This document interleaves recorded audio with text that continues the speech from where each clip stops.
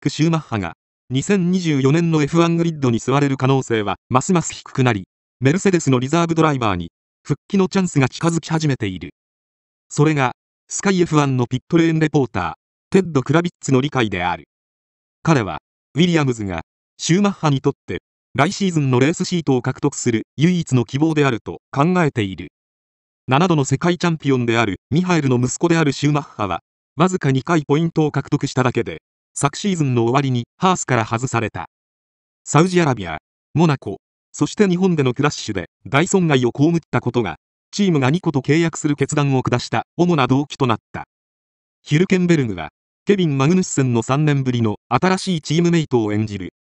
ヒルケンベルグは、2023年の F1 復帰で輝きを放ち、カナダでは予選2位という成績を収めたが、シューマッハは今季欠場を選択し、来年のフルタイムドライバーを見つけるために、メルセデスのリザーブドライバーとなった。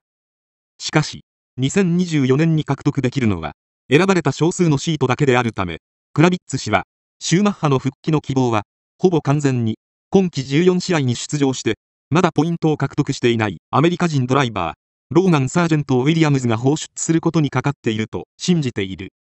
ハースのチーム代表であるギュンター・シュタイナーは、ドイツの困難な2022年シーズンを通じて、シューマッハを公に批判したことで広く非難された。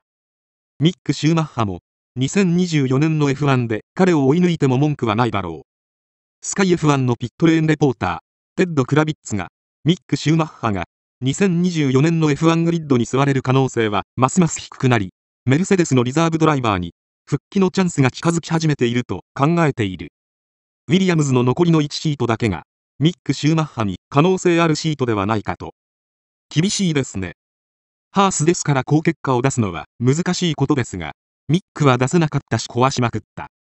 メルセデスのリザーブもドイツメーカーの配慮という噂もあります。